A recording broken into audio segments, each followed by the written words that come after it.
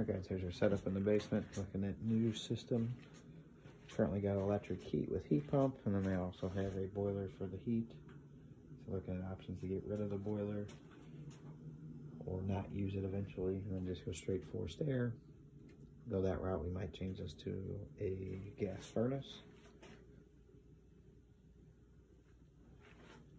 For the return, since we can't pick everything up, and I'm not getting this whole joist over here, what we'll end up doing is tapping off with some sort of duct in this area here and tying back into the drop so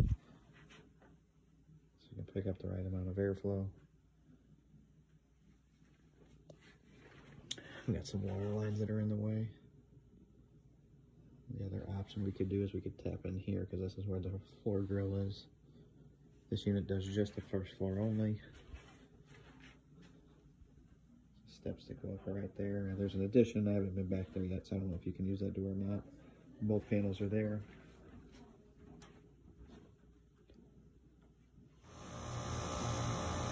All right, here's our setup outside. We got two heat pumps, main floor, which is running, second and third floor. Lines go up the wall. They're going right there, so we'll flush those out. Got a gate right there to get in. Hooks up the units in the same spot. Put them up on heat pump risers.